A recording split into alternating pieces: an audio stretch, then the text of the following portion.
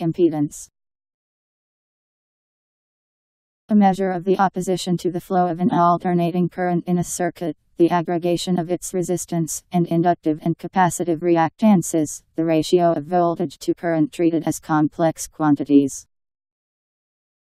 A quantity analogous to electrical impedance in some other energy domain, a measure of opposition to motion of something subjected to a force, the ratio of force to velocity treated as complex quantities, the ratio of sound pressure to volume flow rate treated as complex quantities. A measure of the opposition caused by differences between two paradigms, especially between object oriented development and relational databases.